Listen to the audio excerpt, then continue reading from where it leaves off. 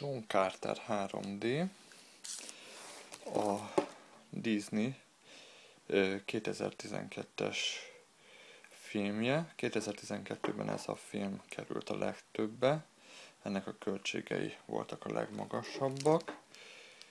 Megjelent Blu-ray-en is, két lemezes kiadás, első lemez 3D-s Blu-ray, második lemez 2D és az extrák.